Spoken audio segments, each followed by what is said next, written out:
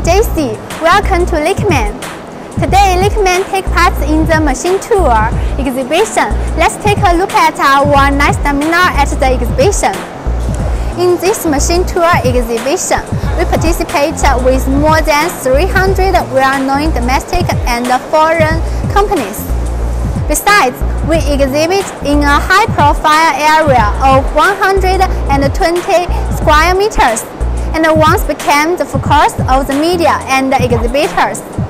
This time, we show some turret machines. There are CKD108L, CKD52, CK52MY, and CK108MY. All showed this time are new products independently developed and produced by us.